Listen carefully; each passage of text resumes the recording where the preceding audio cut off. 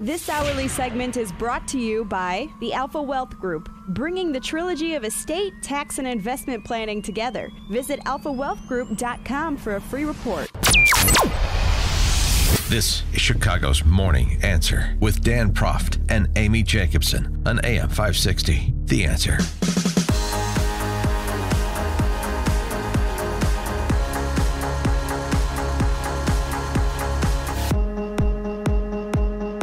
Top of the morning, Dan and Amy. Uh, we're still uh, assessing the Greta Thunberg fallout from her comments at that uh, UN summit last week. Now, an enterprising type online, and there are many, Aw. may have uh, an idea for a future career for Greta.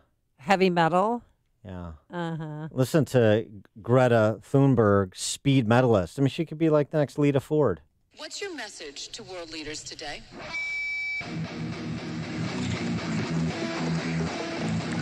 Um, my message is that we'll be watching you. Yeah.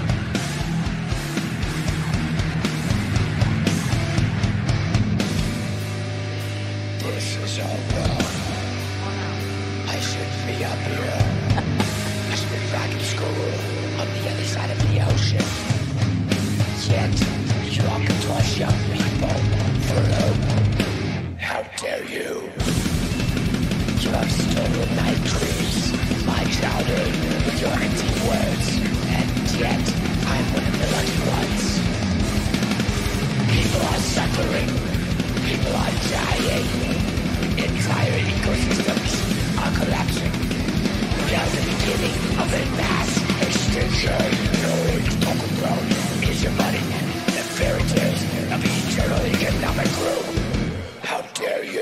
That's pretty good. That's pretty good Wow. editing, and I could see that on a future Slayer Godsmack album very easily.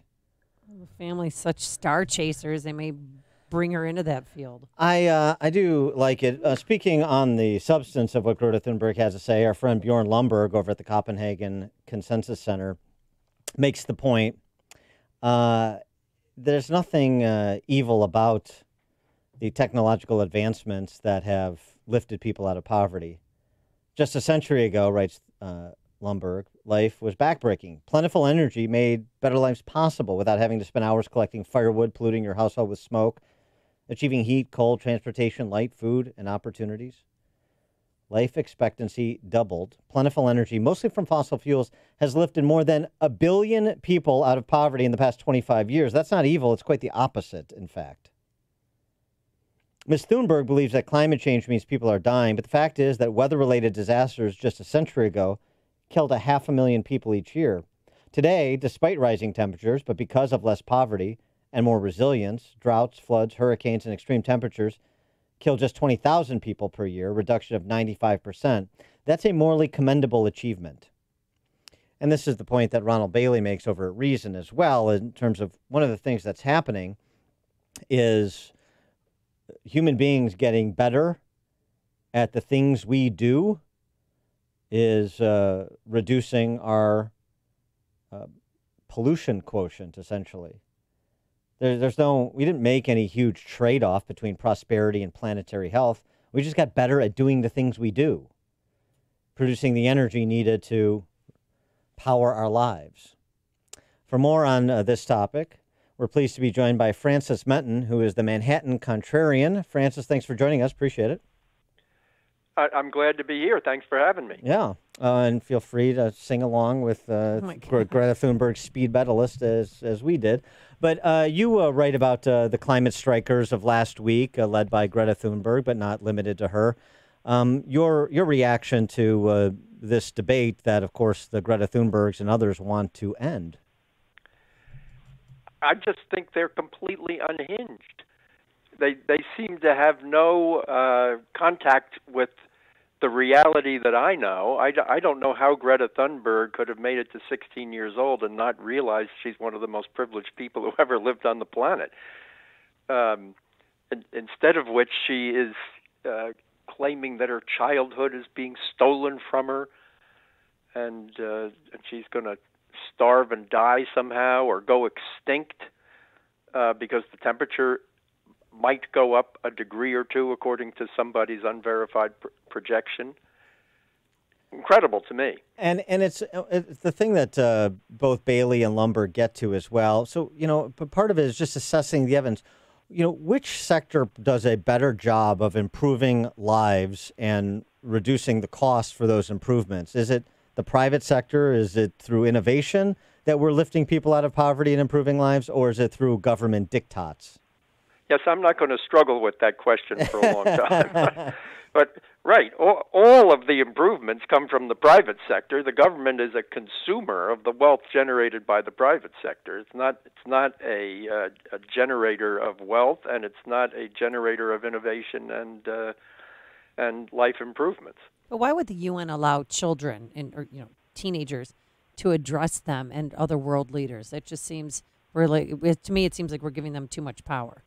Well, not only giving them too much power, but it really um, uh, misusing children. I mean, I the the word abuse comes to my mind.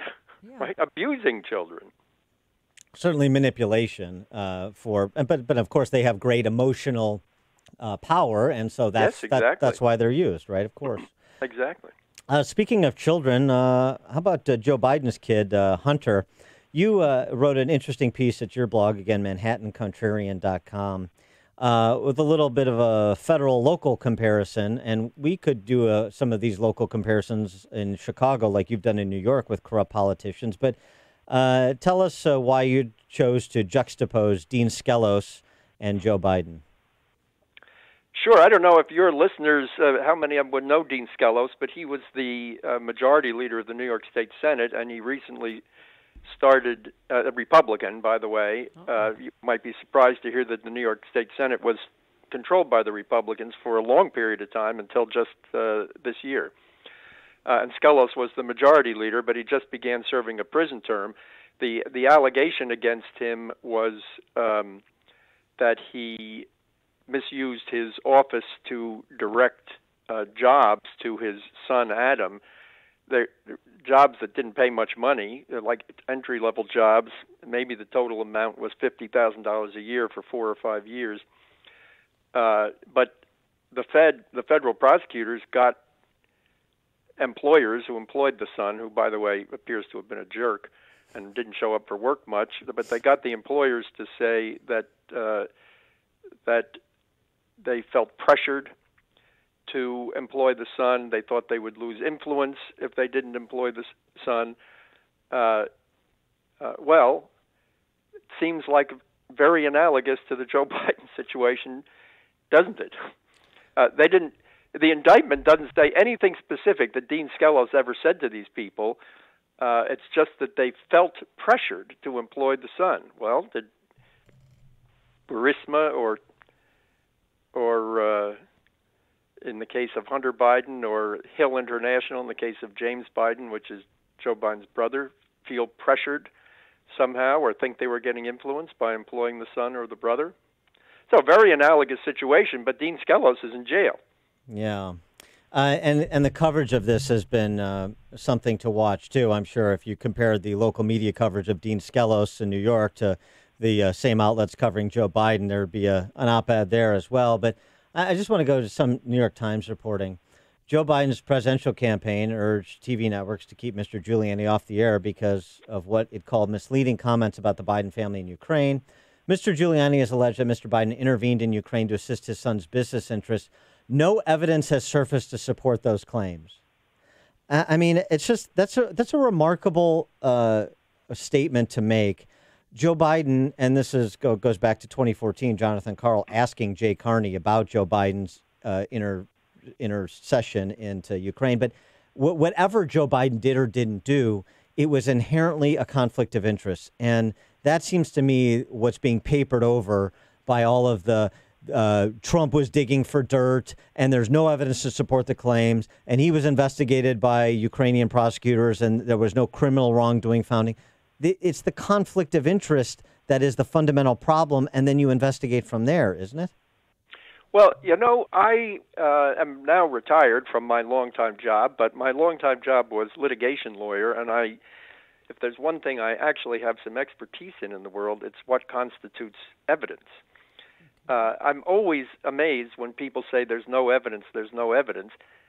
Circumstantial evidence, absolute evidence. And is there circumstantial evidence in the case of Joe Biden that of certainly of a conflict of interest, let alone circumstantial evidence that might be of an underlying crime? Yes, there's overwhelming circumstantial evidence. Now, would you prosecute a crime based on only the circumstantial evidence uh, that's out there? I, I doubt you would. But that is, certainly does not mean there's no evidence. There's lots of evidence. Yeah, well, exactly, and and and you and when you have a conflict of interest uh, as the as the sort of uh, blinking light, then you follow it, don't you? Well, in the case of uh, in the case of Dean Skelos, they uh, put a team of federal prosecutors on it, and they wired up everybody he was talking to for a, for a, a year or two, and so forth. Uh, if you if you want to know if there's uh, that kind of evidence, that's what you do. In the case of Joe Biden, nobody's done that. Wow. And let's talk about the whistleblower rules and how they changed, you know, pretty recently so that you don't have to be uh, the one witnessing. You can have, it could be hearsay. Um, Are you familiar with that? Because President Trump yes, I am well, familiar with that, and it's extremely suspicious. I've I, I've seen uh, I've I've seen reports that the that the personal knowledge requirement for a whistleblower report changed two days before this whistleblower report uh, was made that relates to the Trump uh, telephone call with uh, President Zelensky of of Ukraine. Um, Yeah, and President Trump Well, just tweet, you know, President Trump in all capitals, who changed the longstanding whistleblower rules just before submittal of the fake whistleblower report? Drain the swamp. I- Isn't it incredible that the President of the United States can't find out the answer to that question? Yeah. I know. You want to talk about circumstantial evidence? How about circumstantial circumstantial evidence of a fifth column action in the intelligence community from about November, uh, what was it, eighth of 2016 to present? Uh, there, there's a lot more than just circumstantial evidence, yeah. Well, okay. Yeah. but there's also a lot of circumstantial evidence. He is Francis Menton. He's the Manhattan Contrarian, manhattancontrarian.com. Francis Menton, thanks so much for joining us. Appreciate it. Thank you so much for having me. Take care. And he joined us on our turnkey.pro answer line. The more I read about this, no, I don't think he was doing something terrible in Ukraine, but it's just so. Why can't politicians tell their kids, get a job? It's too swampy. Get a job. His kid was paid $600,000 because his name is Biden by a gas company in Ukraine, this super corrupt country that just had a revolution to get rid of corruption. It just looks bad. You've made the switch, and it feels so good. You've switched to Chicago's Morning Answer on AM 560. The Answer.